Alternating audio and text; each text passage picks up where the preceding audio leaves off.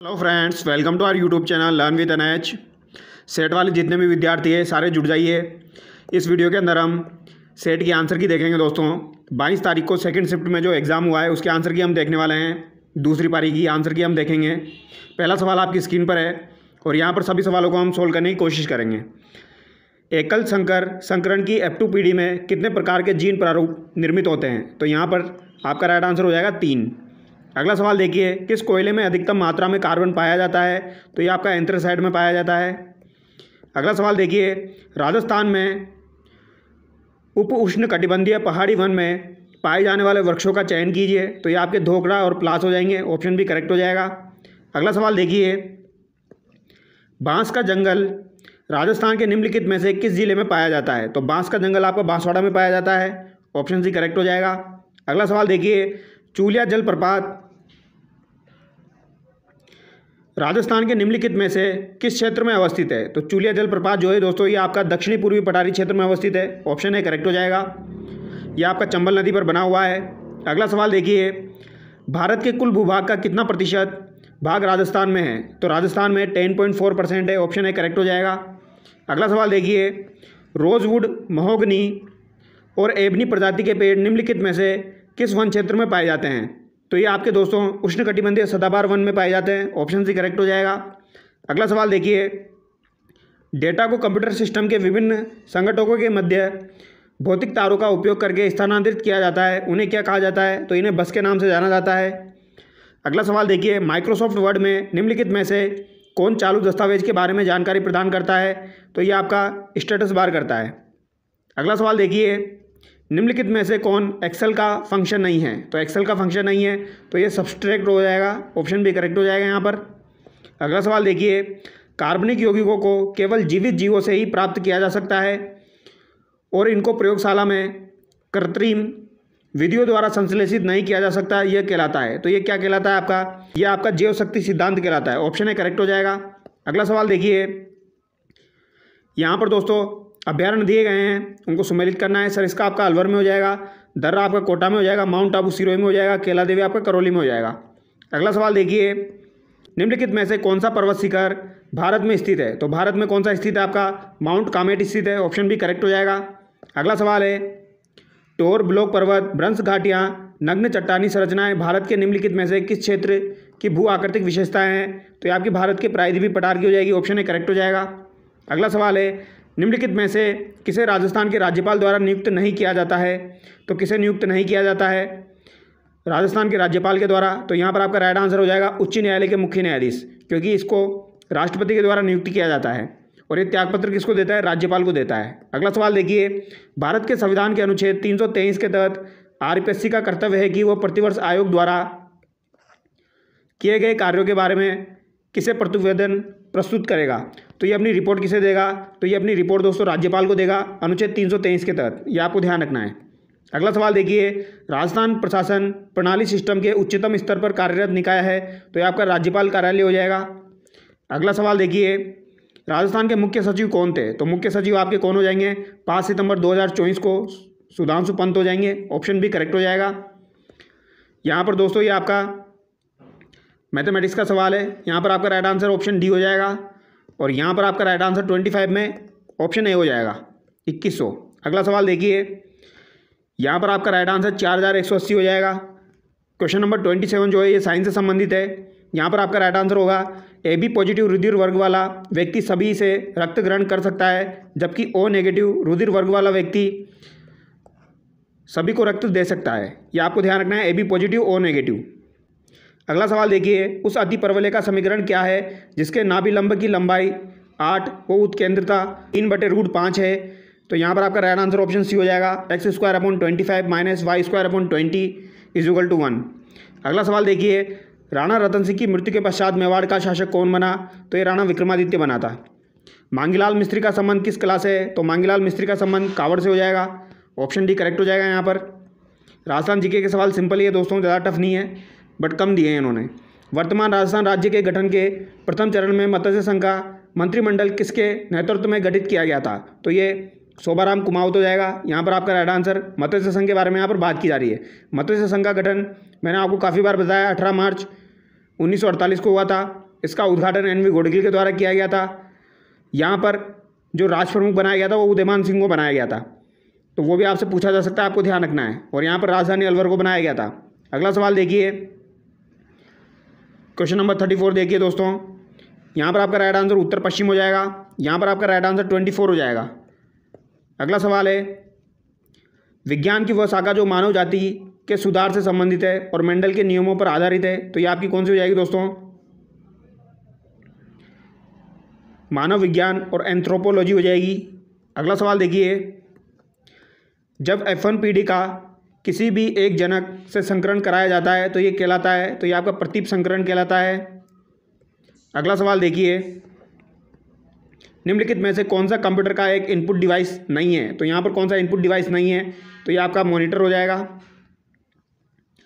अगला सवाल देखिए दोस्तों।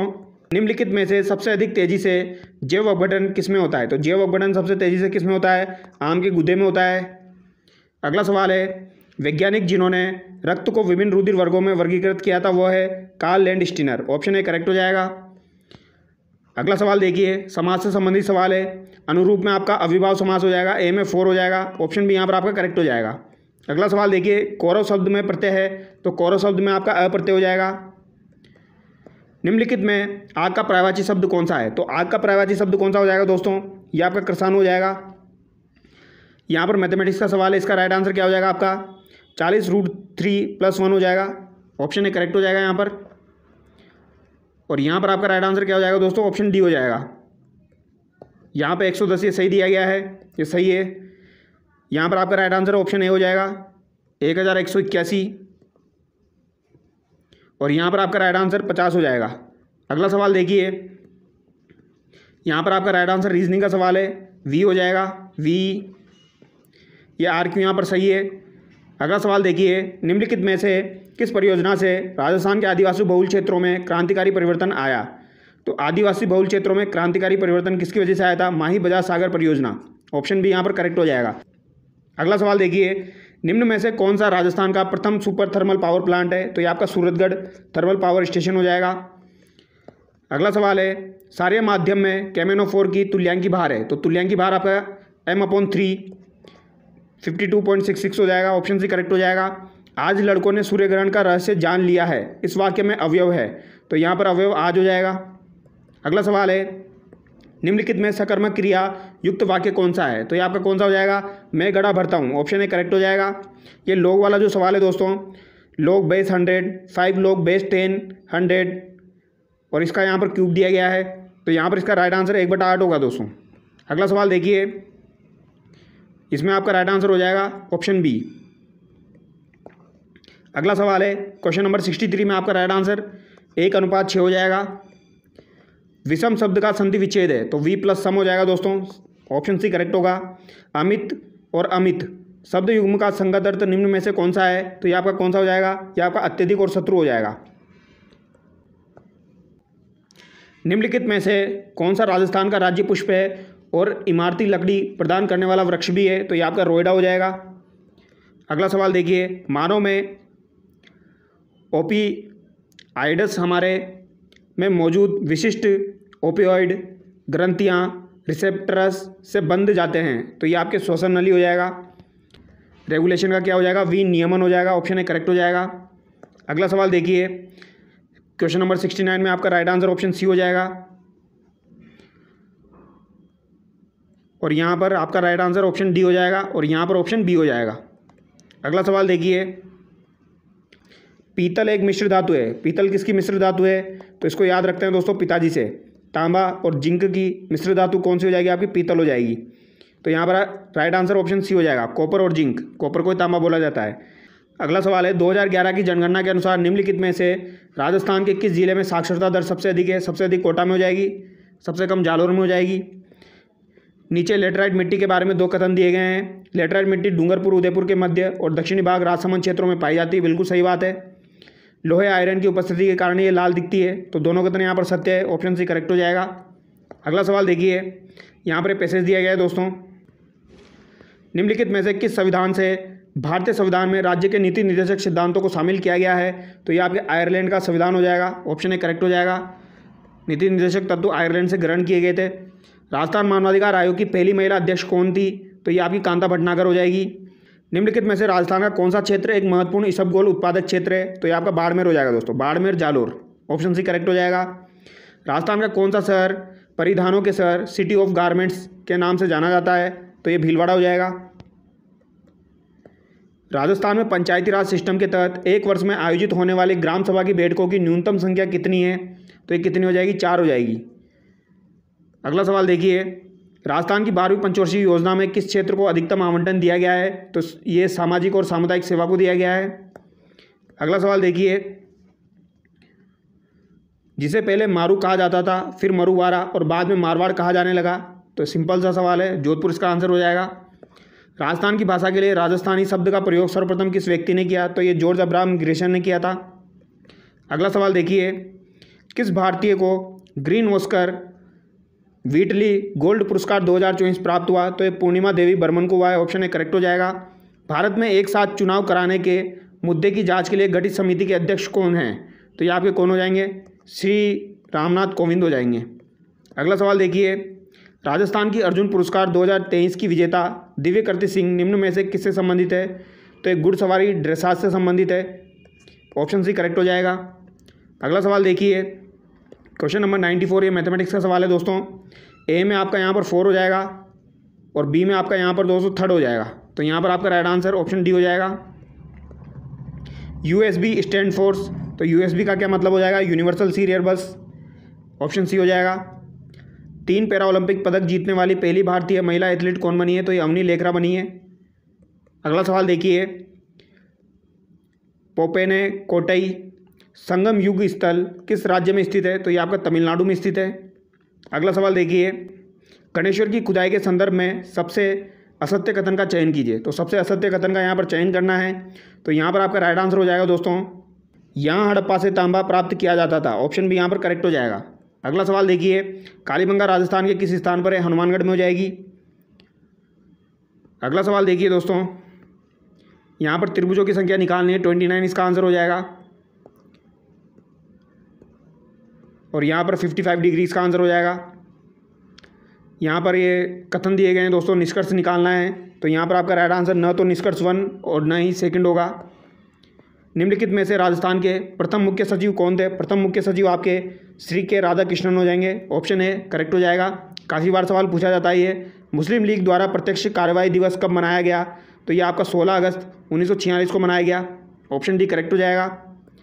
प्रधानमंत्री मुद्रा योजना के वित्तीय वर्ष दो हज़ार तेईस चौबीस में राजस्थान में सर्वाधिक किस श्रेणी के खाते रहे? तो ये तरुण के रहे हैं, ऑप्शन ए करेक्ट होगा।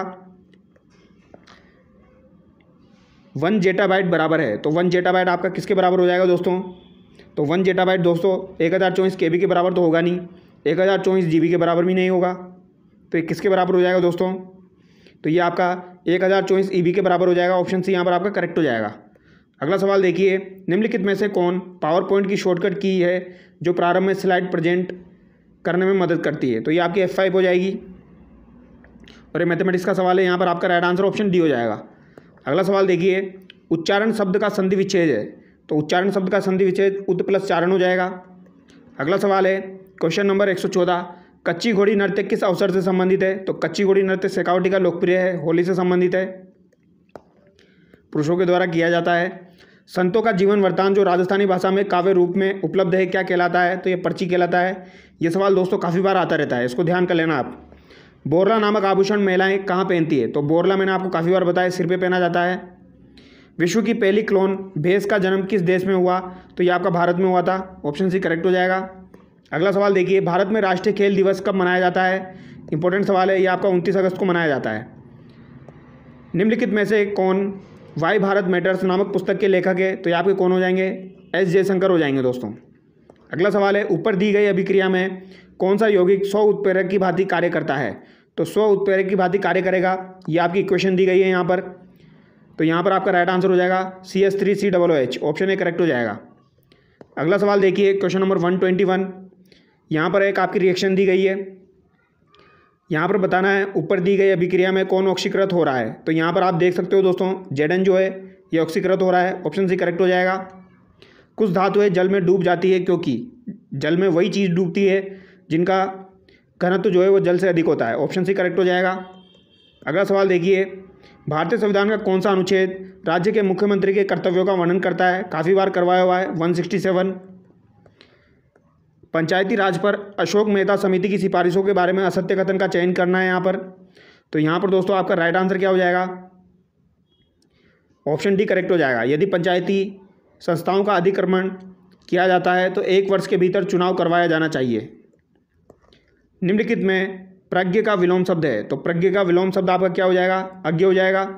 अनेकार्थक शब्द अंक का निम्नलिखित में से कौन सा एक अर्थ नहीं है? तो यहाँ पर किरण आपका राइट आंसर हो जाएगा। जिस संज्ञा या सर्वनाम की विशेषता बताई जाती है, वो क्या कहलाता है? तो जो विशेषता बताता है, वो तो विशेषण हो जाएगा। और जिसकी विशेषता बताई जाती है, वो क्या हो जाएगा आपका? वो आपका विशेष हो जाएगा। यहाँ पर क्या होना चाहिए? विशेष होना चाहिए। इसका आंसर बताना आप, इसका आंसर क्या होगा? अगला सवाल देखिए, निम्नलिखित में अप्रतियुक्त शब्द कौन सा है? तो अप्रतियुक्त शब्द आपका कौन सा हो जाएगा? भार हो जाएगा दोस्तों। अगला सवाल देखिए, निम्नलिखित में शुद्ध वर्तनी युक्त शब्द है। तो शुद्ध वर्तनी युक्त शब्द आपका कौन सा हो जाएगा? तो यहाँ पर ईर्ष्या हो जाएगा। इसके अलावा आपका आशीर्वाद हो जाएगा दोस्तों और इसके अलावा आपका स्वस्थ हो जाएगा। ऑप्शन डी यहाँ पर करेक्ट हो जाएगा। अगला सवाल देखिए, निम्नलिखित में कोरिजेंडम के लिए उपयुक्त हिंदी शब्द है तो ये आपका शुद्धि पत्र हो जाएगा। निम्नलिखित में से कौन एक सरकारी पत्र है तो ये आपका ज्ञापन हो जाएगा दोस्तों मेमोरेंडम अनुज में निहित उपसर्ग है तो अनुज में निहित उपसर्ग आपका अनु हो जाएगा। दूसरों के उपकार को न मानने वाला क्या हो जाएगा, कृतज्ञ हो जाएगा। अगला सवाल देखिए। यहाँ पर दोस्तों आपके मुहावरे दिए गए हैं। खून पसीना एक करना, कठिन परिश्रम करना, गांठ बांधना, खूब याद रखना, जान पर खेलना, साहसिक कार्य करना, जहर उगलना, अपमानजनक बात करना। ये सही दी, सही मिलान किया हुआ है यहाँ पर। उठा न रखना मुहावरे का सही अर्थ है। तो उठा न रखना मुहावरे का सही अर्थ क्या हो जाएगा? कोई कसर न रखना। अगला सवाल देखिए। मनरेगा के तहत श्रमिकों को उनके काम के लिए मजदूरी पाने की न्यूनतम समय सीमा क्या है? तो ये आपकी पंद्रह दिन हो जाएगी।